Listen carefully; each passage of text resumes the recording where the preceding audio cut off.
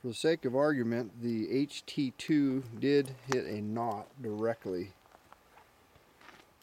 Basically what we were looking for is durability and I would say the three products passed with flying colors, but the interesting thing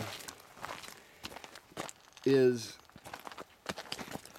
this one shed its tip, which is no fault of the arrow, would have been the adhesion letting go. The Axis and the HT1 both penetrated at 20 yards a half inch sheet. The Axis arrow, Dave will Eight paces. is laying how far Dave? Eight paces. The HT1 penetrator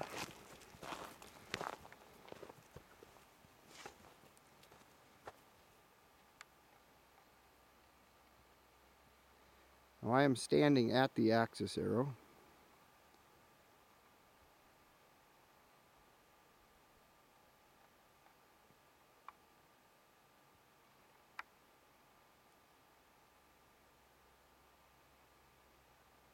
Five zero.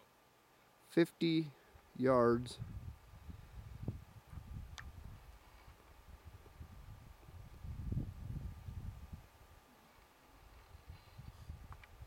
So it went through, you know, unobstructed and continued downrange for an additional 50 yards.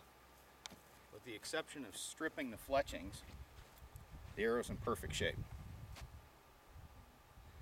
I think we should do that again. I'm all for it. You like tearing stuff up.